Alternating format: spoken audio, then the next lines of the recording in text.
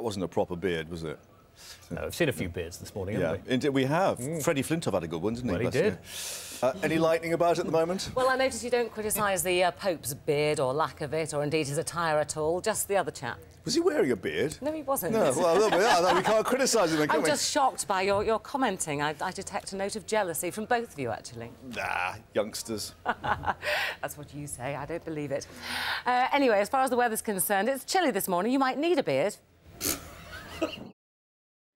or a coat or something like that. Um, a lot of sunshine around, but temperatures have fallen back to around 3 or 4 degrees Celsius overnight. A lot of dry weather too, just a few showers in the west and still some very strong winds in the east. Those are going to die down as the low pressure area moves away. So sunshine, temperatures reaching 17 or 18 degrees Celsius, 64 degrees Fahrenheit. Some of those showers migrating eastward as time goes on. Enjoy the fine weather today. It's not looking quite so good for the weekend. Certainly overnight tonight, we'll see temperatures over much of England and Wales dropping back into single figures, down to one or two degrees Celsius in some places, which will give us a widespread grass frost. Milder in the north as cloud and rain spills in across Scotland, Northern Ireland, later on into parts of northern England too. Top temperatures there, probably around 17 degrees Celsius, 63 degrees Fahrenheit.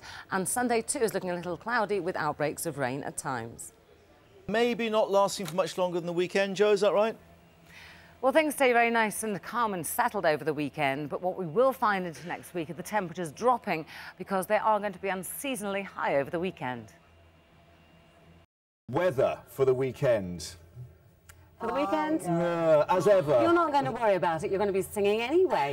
Yeah, you're going to be s- stuck in your dressing rooms. Yeah. Absolutely. No, we're going to see some nice weather on Sunday. Oh, right. Until So then- something to look forward to. Yeah, Good. yeah. Until then, though, it's a little bit bleak. Certainly this morning, it's pretty grey, it's pretty wet. Things will improve. Thank you to the girls. Thank you to the girls.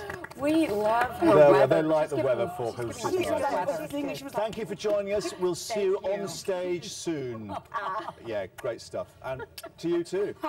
I wonder, was there really a Mr. Grimsdale? I mean, a lot of people call their bo- bosses Mr. Grimsdale. Jo, what do you call your boss? No, let's not go into Yes. Well, anyway. thrown me, anyway, what did you say the weather was going to be today? Widow Twankey or something? No, I said wishy-washy. I knew it was some we'll keep it to the panto thing. thing. Yes. Because, of course, the weather's behind you. Uh, anyway, outside, you'll find that it's um, pretty grey out there. We've got a, a patchy rain around. And in the west, we've got squally, blustery showers. Well, we'll start our look at the world weather with Europe. And of course, it's been extremely stormy over Britain and Ireland over the weekend. Sydney had a very warm weekend. Things are now starting to cool down there. And Perth, too. Temperatures around 32 degrees Celsius. What about the weather? Because, uh, well, a bit autumnal, but then I guess that's the time of year, Jo. Well, yes, it's those kind of mellow mists at the moment, very grey skies, and not a lot of weather going on. Well, things are at least going to change over this weekend, becoming a bit brighter. Um, not the weather for beach volleyball at the moment, though, no, Jo. it's not. Not unless you're wearing a tracksuit. It's, uh, it's certainly turning a little bit chilly just at the moment. Uh, yeah, very definite taste of autumn, possibly even winter by the middle of the week. So stand by for the first proper frost of the season tonight. Beautiful clear skies this morning. It's a lovely start to the day, but cloud and rain working its way into the north and west later. Are we going to put our feet up this weekend? Going to put your feet out? Yeah. I don't know, are you? What's that got to do with the weather? Well, you know, roaring fires, or are we going to be out and about in this glorious well, weather? if you have children, you'll be trick or treating, of course. It's Oh, yeah, Halloween. Yep. Right, no rest for the wicked. I then. hope you've decorated your house. Uh, not yet. I've got the cobwebs anyway. It's sort of Yeah, I was going to say about yeah. a month ago I stopped dusting. I've got cobwebs. In fact, yesterday I saw a mouse, dead bat under the kid's head. I'm doing really well. The house looks really spooky.